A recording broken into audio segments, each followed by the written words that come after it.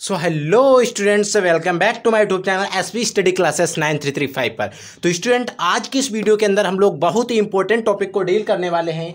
आज की इस वीडियो के अंदर हम देखेंगे स्पर्म की स्ट्रक्चर स्ट्रक्चर ऑफ़ स्पर्म यानी कि अगर हम बात करें तो शुक्राणु की संरचना के बारे में आज की इस वीडियो के अंदर डिस्कस करेंगे।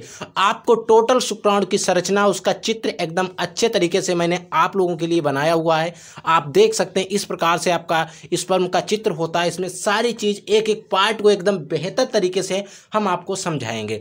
यानी कि स्पर्म में कितने पार्ट होते हैं, कितने पार्ट और किस पार्ट में किस चीज़ का क्या कार्य होता है, किसका कैसे निर्माण होता है, इन सारी चीज़ के बारे में हम बात करेंगे। क्योंकि बहुत सारे डाउट रहते हैं कि अगर सर हमसे बच्चों क्वेश्चन पूछते हैं कि सर अगर हम बात करें तो एक बार में स्खलित सीमेन में यानी कि वीर में कितने भी कितने तक स्पर्म हो सकते हैं और उसमें से कितने ऐसे होने चाहिए जो होने ही चाहिए एकदम फिट और फाइन होने चाहिए ताकि वो एकदम एक नॉर्मल फर्टिलाइजेशन क्रिया हो सके। तो इन सारी चीज़ों के बारे में आज के इस वीडियो के अंदर बच्चों हम डिस्कस करेंगे। ए टू जेड ज्ञान जो है, इस वीडियो में के अंदर इस टॉपिक से रिलेटेड हम लोग ले लेंगे। इस टॉपिक से रिलेटेड एकदम बेहतरीन क्वेश्चन करेंगे, जो आपके बोर्ड एग्ज़ाम के अंदर आपसे पूछे जा सकते हैं। तो इन सारी चीज़ों को ध्यान में रखते हुए हम वीडियो को शुरू करेंगे। तो आई होप आपको ये वीडियो अच्छे से पसंद आएगा और आपको पसंद आने के बाद आपको समझ आ जाएगा और आपकी तैयारी भी अच्छे तरीके से हो रही होगी।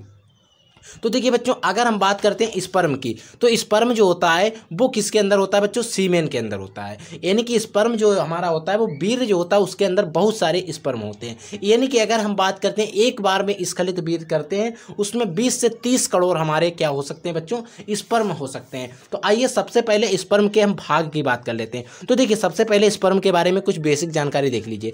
कहता है, शुक्राणु सूक्ष्मदर्शी होते हैं। यानी कि जो स्पर्म है, वो बच्चों कैसे होते हैं? सूक्ष्मदर्शी होते हैं, माइक्रोस्कोप माइक्रोस्कोपिक होते हैं, ठीक है? और इनकी लंबाई जो होती है, साठ माइक्रोमीटर होती है, साठ म्यूसी होती है, यानी कि माइक्रोमीटर होती है, और मैथ्यून क्रिया के दौरान पुरुष 20 से 30 करोड़ स्पर्म स्खलित करता है। यानी कि जिस समय हम मैथुन क्रिया होती है स्पर्म में, यानी कि पुरुष में, यानी कि मेल में, उस समय 20 से 30 करोड़ जो शुक्राणु होते हैं, वो स्खलित किए जाते हैं। एक क्वेश्चन डायरेक्ट आपके बोर्ड के एग्ज़ाम में पूछा जा सकता है ऑब्जेक्टिव क्वेश्चन कि एक बार में स्खलित स्पर्म की संख्या तो बीस से तीस करोड़ होती है बच्चों, ठीक है? देखिए, और बात होती क्या, इसमें आप एक नोट पॉइंट डाल के लिख लेंगे, क्योंकि ये बात बहुत इंपॉर्टेंट है और कोई आपको नहीं बताता है। मैं आपको बता रहा हूँ कि ये बात आपके लिए कितनी इंपॉर्टेंट है।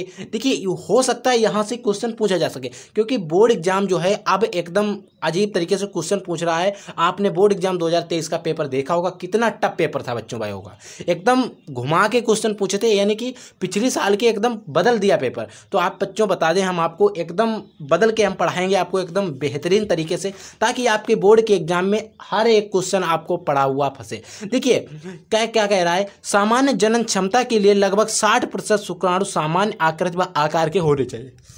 यानी कि अगर मान लीजिए हंड्रेड परसेंट स्पर्म निकलते हैं हंड्रेड परसेंट।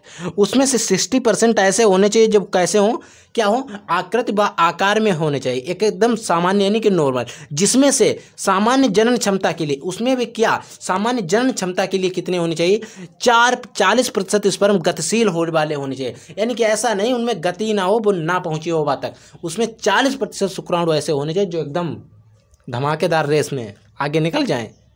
स्पीड से चलें, गतिशील होने चाहिए, ठीक है बच्चों? फिर बात आती है स्पर्म के भाग। इसके भाग, इसके चार भाग होते हैं बच्चों।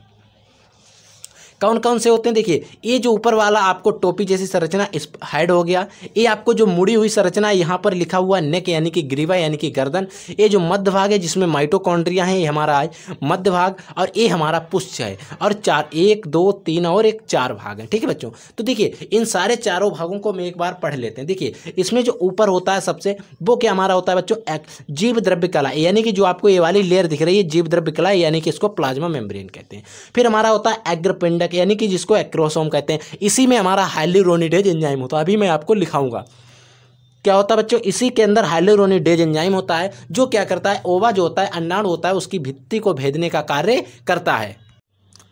क्योंकि आपने पढ़ा होगा जो ओबम होता है, उसकी ऊपरी वाली जो लेयर होती है, जिसको हम कहते हैं जोना पेलुसुडा, उसी लेयर को भेदने के लिए अग्रपिंडक में ही एक एंजाइम होता है, जिसको कहते हैं हालिरोनिडेज जो क्या करता है, उस लेयर को भेदने का कार्य करता है। फिर हमारा आता है मध्य भाग और फिर देखिए, ये जो आपको बीच में दिखाई दे रहा है, ये क्या है? केंद्र के युक्त गुणसूत्री पदार्थ कैसा? केंद्र के युक्त यानी कि जेनेटिक मटेरियल है। ठीक है बच्चों? अब हमारा आता है, ये देखिए, ये पूरा हमारा क्या है? शीर्ष है। यानी कि जो है, क्या है? शीर्ष भाग है। फिर हमारा आता है नेक ये जो आपको नेक जो गर्दन दिखाई रही है, इसमें क्या है? ये जो आपको लाल वाला स्ट्रक्चर दिखाई रहा है, ये हमारा है तारक केंद्र। ठीक है? फिर इसके नीचे जब हम बढ़ते हैं तो हमारा आता है मध्य भाग जिसमें होते हैं क्या? माइटोकॉन्ड्रिया।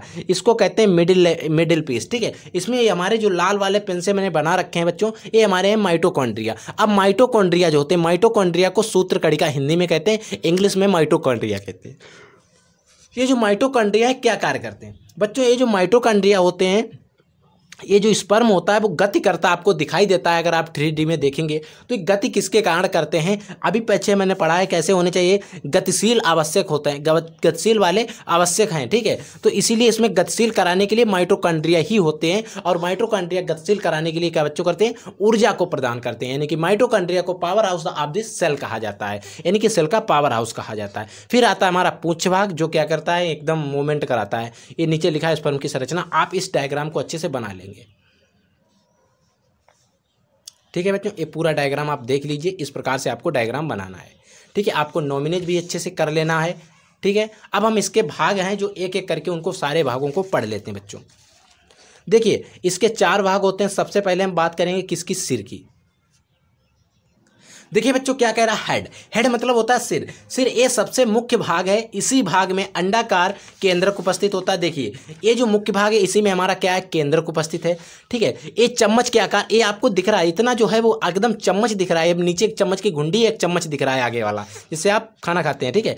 चम्मच के आकार का होता है इसके शीर्ष भाग पर एक्रोसोम। इसके शीर्ष भाग पर क्या है? एक्रोसोम, यानी कि इसको हिंदी में अग्रपिंडक कहते हैं।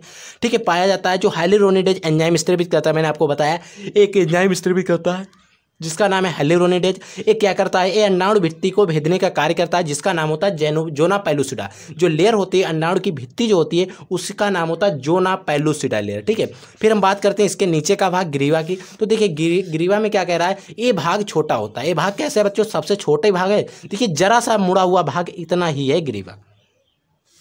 ये भाग सबसे छोटा और इसी भाग में तारक केंद्र उपस्थित, तारक का या तारक केंद्र? इसी भाग में क्या उपस्थित है? तारक केंद्र। ये वाला हमारा तारक का है, ठीक है बच्चों? उपस्थित होता है शुक्राणु की पुच्छ व अच्छे तंतुओं का निर्माण करता है। ये देखिए, आप देख रहे हैं, इसका जो अच्छी पुच्छ तंतु आया, ये कहाँ से आया? ये यहीं से आया, देखिए, ये आया है। तो इसका निर्माण कौन करता है? तारक काय करता है बच्चों, ठीक है? इतना ही इसके मध्य भाग के बारे में आपको पढ़, सॉरी, ग्रीवा के बारे में आपको पढ़ना है। फिर हम बात करते हैं मध्य भाग, यानी कि मिडिल फ़ेज़ के बारे में। देखिए मिडिल पीस में कहता है, एक ग्रीवा के पीछे वाला भाग है आपको दिख रहा है ग्रीवा के पीछे वाला भाग है सही बात है। और इसमें बहुत कम कोशिका द्रव्य पाया जाता है। इसमें देखिए, कोशिका द्रव्य जो है, बहुत कम होता है। नाम मात्र के लिए इसमें कोशिका द्रव्य होता है। इसीलिए इस कोशिका द्रव्य को हम कहते हैं मेनचिट कोशिका द्रव्य। देखिए, इस पाया जाता है, इसीलिए इस प्रकार के कोशिका द्रव्य को मेनचिट कोशिका द्रव्य कहते हैं। ठीक है, आगे देखिए। फिर कह रहा है कि मध्य भाग में माइटोकॉन्ड्रिया सर्पिलाकार क्रम में अच्छी तंतुओं के चारों ओर स्थित होते हैं। देखिए, इसमें माइटोकॉन्ड्रिया जो है सर्पिलाकार और अच्छे तंतु जो आ रहे हैं, इनके चारों ओर स्थित हैं, ठीक है? और माइटोकॉन्ड्रिया अधिक संख्या होने के कारण इसको पावर हाउस कहते हैं, क्योंकि सेल का पावर हाउस माइटोकॉन्ड्रिया तो इसी इसलिए इस स्पर्म का पावर हाउस इसे ही कहते हैं, ठीक है? अब बात आती है कि माइटोकॉन्ड्रिया कितने हो सकते हैं। ये जो माइटोकॉन्ड्रिया यहाँ पर एक, दो, तीन, चार, पाँच, छः, सात, आठ हमने बनाया ठीक है? तो कहने का मतलब है कितने हो सकते हैं? तो ये बच्चों पंद्रह से सोलह हो सकते हैं एक स्पर्म के अंदर। कितने? एक स्पर्म के अंदर ये माइटोकॉन्ड्रिया है, पंद्रह से सोलह हो सकते हैं। फिर हमारा आता है लास्ट वाला भाग, पुच्छ भाग। क्या कहता है? ये सबसे अंतिम भाग है और लंबा भाग है। इसी के कारण शुक्राण जो होते हैं गतिशील। यानी कि जो मूवमेंट होता है, इसी में होता है पुच्छ तंतु में, जिसके कारण स्पर्म जो होते हैं, वो गति करते हैं। ठीक है? तो इस प्रकार से इसके चारों भाग हमारे समाप्त हुए और इस प्रकार से आपको पूरा स्पर्म पढ़ लेना है। देखिए, पहले एक बार मैं आपको पूरा समझा देता हूँ, एकदम डायग्राम से। देखिए स्पर्म के मुख्य रूप से चार भाग होते हैं हेड ग्रीवा and middle piece and tail यानी कि हेड के जो चार भाग होते हैं, उसमें शीर्ष, ग्रीवा, मध्य भाग और पूंछ होते हैं। अगर हम बात करते हैं शीर्ष शीर्ष जो भाग होता है, सबसे मुख्य भाग होता है, सबसे बड़ा भाग सॉरी सबसे मुख्य भाग है। इसी में क्या होता है? गोलाकार केंद्र उपस्थित होता है, ये चम्मच के आकार का होता है, इसी में एक्रोसोम होता है, जो अंडाणु की भित्ति को फेदने का कार्य करता है। ये तो बात हमारी हो गई हेड के बारे में। ग्रीवा में क्या होता है? तारक काय होता है, जो पुच्छ तंतुओं का निर्माण करता है। फिर हम आते हैं मिडिल भाग में। मिडिल भाग क्या होता है? देखिए, जो मध्य भाग होता है, इसमें हमारे जो माइटोकॉन्ड्रिया है, क्या कार्य करते हैं? तो देखिए, जो माइटोकॉन्ड्रिया हैं, ये क्या करते हैं? जब हमारा स्पर्म गति करता है, गतिशील होता है तो क्या करते हैं? जब तैरता है, उसके लिए क्या बच्चों? ऊर्जा प्रदान करते हैं। यानी कि माइटोकॉन्ड्रिया को कोई अन्य कार्य नहीं है। जो हमारा स्पर्म है, उसको ऊर्जा प्रदान करना, ताकि वो एकदम अच्छे तरीके से मूवमेंट कर सके, यानी कि गति कर सके, ठीक है? फिर हमारा आता है लास्ट भाग जो होता है, पुच्छ भाग। ये क्या करता है? इसको गतिशील बनाता है। मतलब गति कराने के लिए ऊर्जा तो ये देता है, लेकिन गति कराता कौन है? पुंछ जो हमारा पुच्छ भाग होता है, वो गति कराता है। तो आप इस चित्र को अच्छे से बना लेंगे और आप इस पूरी डेरिवेशन या थ्योरी को एकदम एकदम बेहतरीन तरीके से आप नोट कर लेंगे और लर्न कर लेंगे। इसको देख लीजिए, स्क्रीनशॉट ले लीजिए इसका।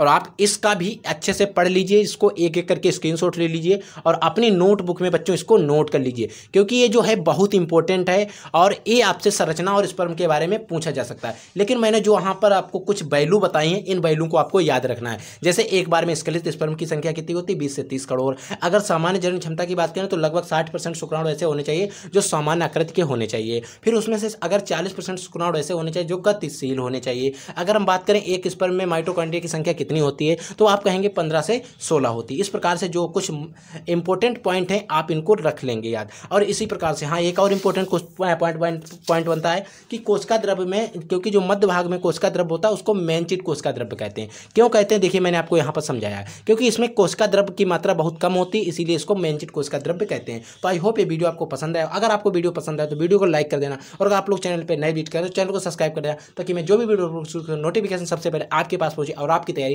समय समय पर बेहतर ढंग से हो सके। तो I will take a next class तब तक के लिए जय हिंद। वाय वाय